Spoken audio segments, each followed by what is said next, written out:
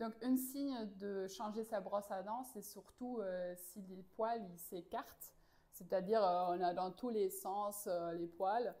Et ça, c'est souvent après trois mois, voilà. Après trois mois, on peut la changer.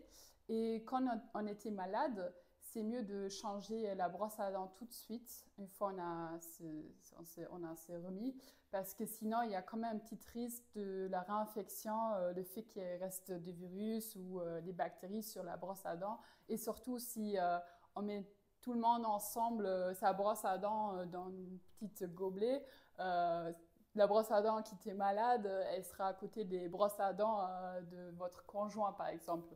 Donc c'est mieux de changer la brosse à dents dans ce cas-là tout de suite.